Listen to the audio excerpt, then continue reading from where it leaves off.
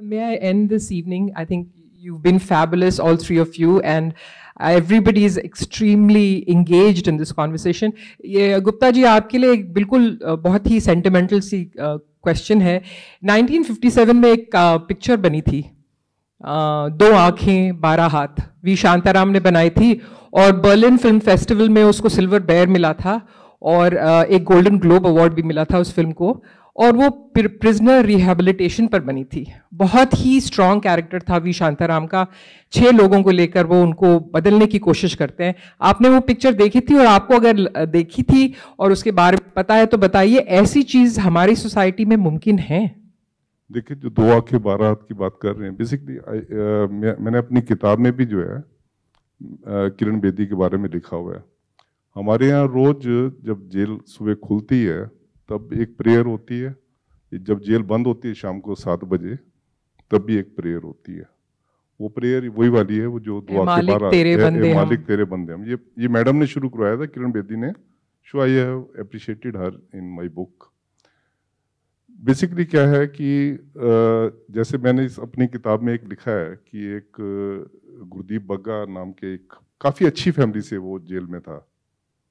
Murder के case में jail में था। उसने मर्डर भी कैसे किया कि उस टाइम पे जो है गैस की बहुत एलपीजी गैस जो है, ये बड़ी मुश्किल से मिलती थी। काफ़ी देर क्यू में लगना पड़ता था, तब मिलती थी। It was in early seventies you can say तो उसने गैस बुक करवाई हुई थी तो गैस वाला जो है, सिलेंडर उसको ना दे के उसने किसी और को दे दिया तो इसने उसका मर्डर कर दिया। तो he was from very good family Gurdeep Bagga हाँ तो गुरदीप बग्गा ने जब उसने फिर क्या हुआ कि एक मैंने इसमें कहानी दी हुई है कि वो जेल में मेरा बेसिकली देखें जेलें जो होती हैं, अगर ये कैदी हमें हेल्प ना करें ना तो हम जेल नहीं चला सकते। I am very fair with you अगर कैदी हमें हेल्प ना करें हम जेल नहीं चला सकते। सारा सिक्योरिटी का काम देते अब सपोज़ जैसे ये, इस इस साइज़ की बैरक होती है, जिसमें हम बैठे हैं, ऐसी बैरक होती है। अब बैरक में रात के दो बजे दो प्रिजनर जो अपोजिट गैंग के हैं, वो आपस में लड़ पड़ते हैं। तो जेल वाले तो जब आएँगे, वो तो पहुँचेंगे एक घंटे में। उससे पहले जो हमारे कैदी अंदर होते हैं, वो संभाल लेते हैं। तो जो मैंने गुरदीप बग्गा की, Gurdeep Bagga was helping me in my legal branch by typing the letters etcetera even Charles Sobhraj was also in my branch He was in charge of this library I was having this uh, uh, library of uh, law books. we, we actually, we used to encourage the interns to come into the jail and study the system.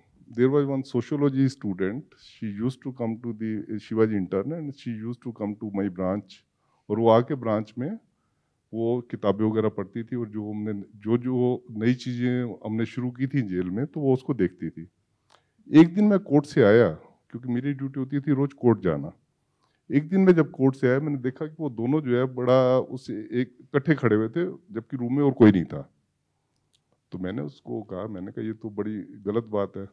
तो बाद में बेशक उन्होंने आपस में शादी कर ली and they are happily married they are happily married मतलब यहाँ उल्टा हुआ। वहाँ पे तो जेलर ने शादी की रेपिस से। या they invited me to the wedding also और वो भी जब उसने किताब पढ़ी तो उसने मुझे बड़ा अच्छा मैसेज लिखा कहते सर इतनी वेल रिटन बुक और उसने बहुत अप्रिशिएट किया किताब को। तो आपको याद होगा कि कई चीज़ें हम फ़िल्मों से लेते हैं कई चीज़ें हमसे फ़िल्म लेती हैं।